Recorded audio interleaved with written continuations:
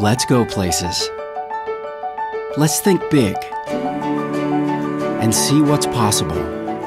Let's make cars more exciting.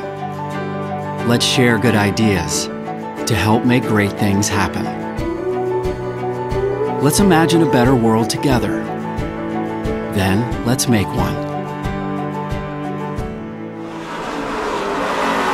Picking wow. Ooh, a lot of wheel spin back there on that. Oh, we got trouble. Our vision at Toyota is to produce the safest as well as the most responsible means of mobility for uh, society around the world. THUMS has been a, a project that Toyota has been developing and using for over a decade now. NASCAR collaborated with Toyota because they have a very unique tool in the THUMS model. It's a tool that allows us to accurately understand human behavior in a crash scenario.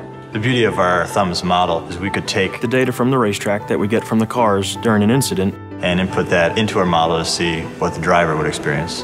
The injuries that we saw on the racetrack correlated to what THUMS said would happen.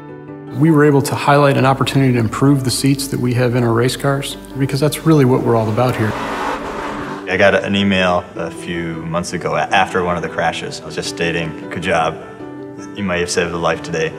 You can go home at the end of the day and know you made a difference in somebody's life. That's something.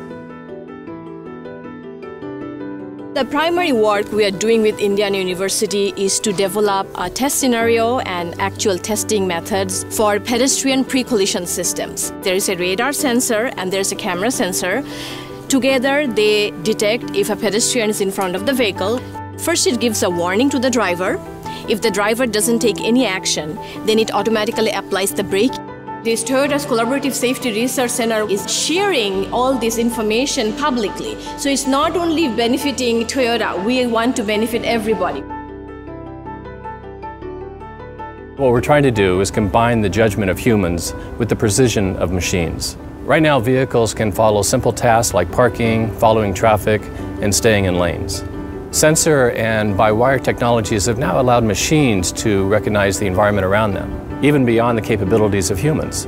Step by step will allow our vehicles to perform more automated tasks. I've been working on safety for decades, and there's still many things to learn. And, and so that motivates uh, myself and uh, my colleagues to continue to push the science forward. From groundbreaking research in production facilities, to partnering with local communities, to shaping the future of the industry. Together, we can go more places than ever before. Toyota, let's go places.